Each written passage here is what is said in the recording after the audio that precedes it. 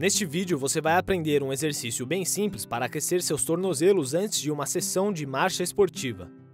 Este exercício é feito em duas etapas: posicionamento e movimento. Primeiramente, o posicionamento. Equilibre-se sobre um pé. Você pode flexionar um pouco o joelho da perna de apoio para ganhar mais estabilidade.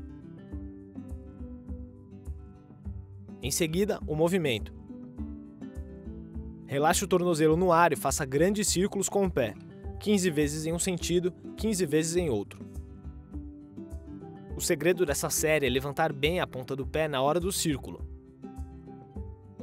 Isso vai aquecer seu tendão de Aquiles. Faça esta série com outro pé. Repita esse exercício duas ou três vezes no seu tempo, sem forçar. Agora é com você.